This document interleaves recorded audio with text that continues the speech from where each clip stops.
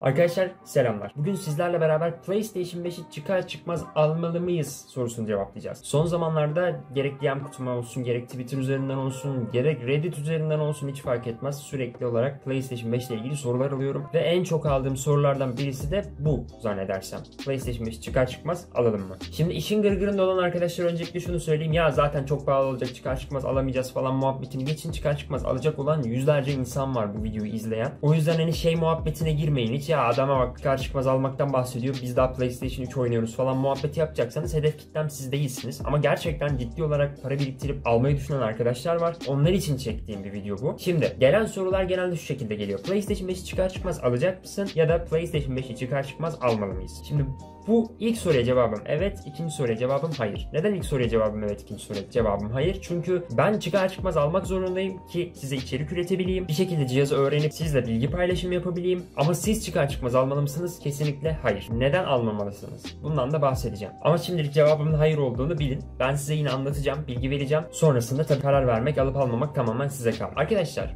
konsollar tek donanım olarak üretilip piyasaya tek parça halinde sürülen cihazlar. Haliyle bu cihaz cihazların ilk çıkan sürümlerinde ki biz bunlara cuh diyoruz. Model numarası diyebilirsiniz, seri numarası diyebilirsiniz, cuh diyebilirsiniz hiç fark etmez. İlk çıkan versiyonları genelde hatalı oluyor. Şöyle hatalı oluyor. E, tabii ki bu oyun oynayışınızı etkileyecek hatalar değil. Lakin hani kronik hatalara sahip olabiliyor bu cihazlar. Ve bu kronik hatalarda böyle hemen alır almaz değil. Aldıktan böyle bir sene, bir buçuk sene sonra ortaya çıktığı için de e, konsol olan kişileri zor duruma düşürebiliyor. Nedir mesela bu kronik hatalar? PlayStation 4 ilk çıktığı zaman ilk cuhları gerçekten çok sıkıntılıydı. Ya.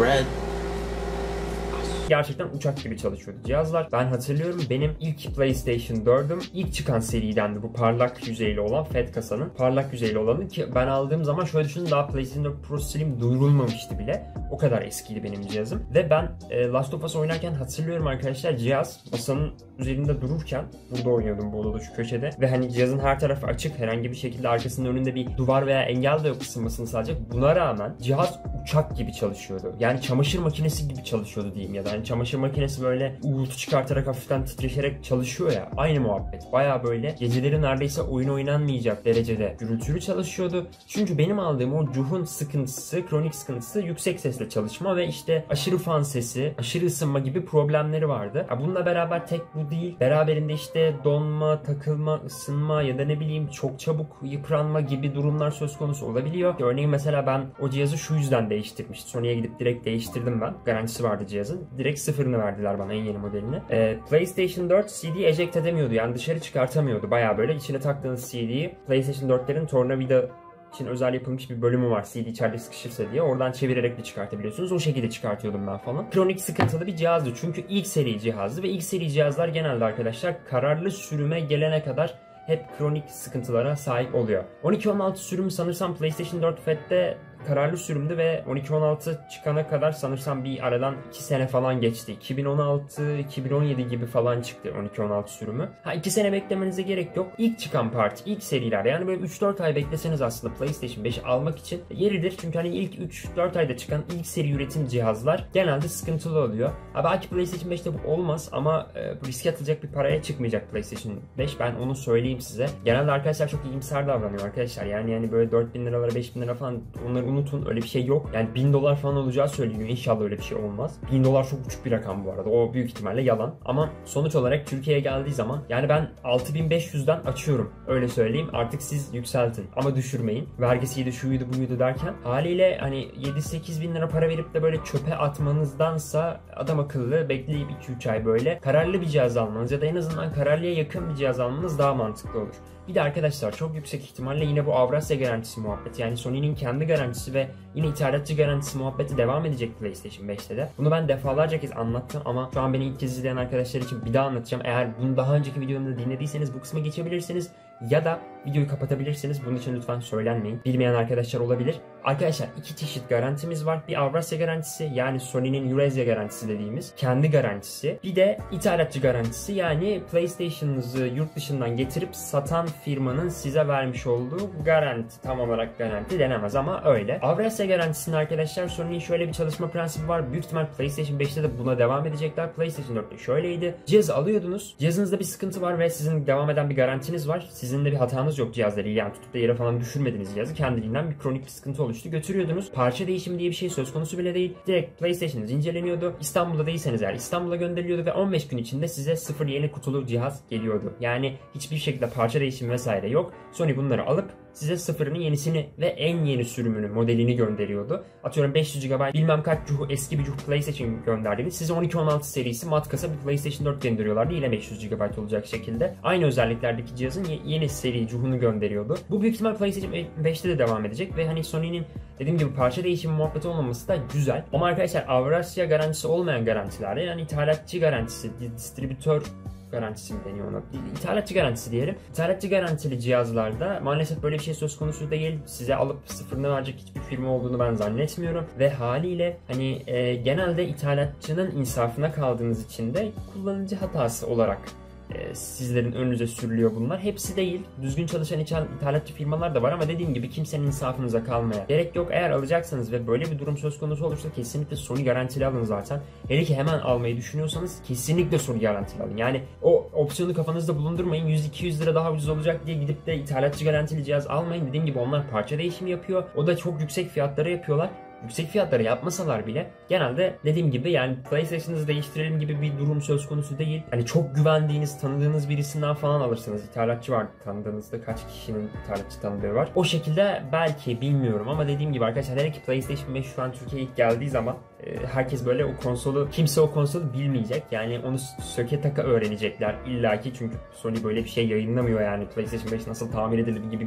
kılavuzları yok. O yüzden ekstra ekstra risk. Daha önce e, birçok şey yaşadı benim arkadaşlar. Mesela PSP'si ilk çıktığı dönemde bozuldu arkadaşımı. Götürdüler Kızılay'da vesaire dükkanına verdiler. E, adam dağıtmış, toplayamamış ve işte sonra şey yaptı. Beyni yanmış bu cihazın falan deyip böyle yalan yanlış toparlayıp vermiş. Kendisi yapamadı, tamir edemedi. Üzerine daha fazla bozduğu için kurtulmak için cihazı öylece verdi. Çöp oldu cihaz yani. Şu an süs olarak duruyordur büyük ihtimalle. Çekmecesinde tozlanıyordur. Hani bu tarz şeylerle karşılaşmamak için ki pahalı bir cihazdan bahsediyoruz. Ee, Sony garantili almanızda fayda var. Bu da aklınızın bir köşesinde bulunsun. Onun dışında söylediğim gibi 3-4 ay bekleyin arkadaşlar. Yani bunu tamamen tecrübelerime dayanarak söylüyorum. Tamamen özgür iradenize kalmış ama ben olsam çıktığı gün gidip almazdım alacağım ama hani bu içerik üretme mevzusu olmasa sizler olmasanız YouTube olmasa yani e, büyük ihtimalle zaten ileride umarım öyle bir video çekmem ama işte PlayStation 5 ile ilgili yaşadığım sıkıntılarla bir video kesinlikle gelecek yani. Çünkü ben çıkar çıkmaz almak durumundayım. Söylediğim gibi yani bunu göz önünde bulundurun. E, buna göre de kararınızı verin. Paranızı çöpe atmayın. Çok yaşıyorum. Ve hani bilmiyorum. Söylediğim gibi bahsettiğim şeyleri zaten artık kendiniz kafanıza değerlendirirsiniz.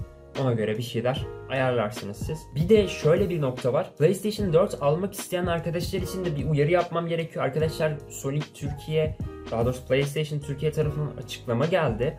Biz herhangi bir şekilde cihazlarımıza zam yapmadık dediler. Yani PlayStation Türkiye tarafından herhangi bir zam yok. O gördüğünüz fahiş fiyatlara 4,5-5 bin liralara satılan cihazların hepsi satıcıların fırsatçılığından kaynaklanıyor. Yani siz karantinadasınız zaten alacaksınız. Alan alsın muhabbetinden kaynaklanıyor. O yüzden bu sıralar PlayStation 4 de almamaya çalışın ya da en azından ikinci el piyasasına göz atın. İkinci el piyasasındaki fahiş fiyatlara da düşmeyin.